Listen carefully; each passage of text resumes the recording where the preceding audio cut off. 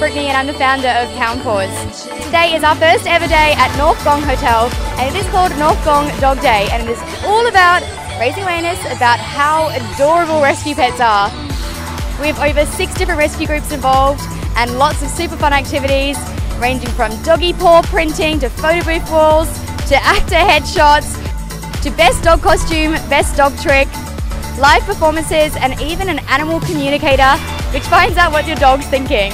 And it is so lovely to be around so many adorable pets as well as raising awareness on the importance of choosing to adopt instead of shop. Pound Paws is a charity that is focused on rehoming dogs and cats that end up in Australian pounds and rescue centres. We have an online search engine which fast tracks the process of finding your forever pet. You can search by breed, age, size or lifestyle match. www.poundpaws.com.au